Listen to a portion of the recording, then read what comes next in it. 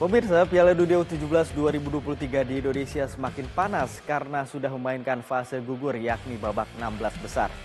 Salah satu laga yang digelar hari ini, Selasa atau Senin maksud kami 20 November 2023 adalah duel Spanyol kontra Jepang.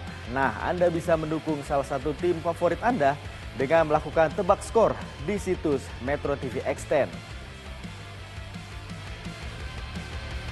Jelajahi cara baru mendapatkan informasi. Download Metro TV Extend sekarang.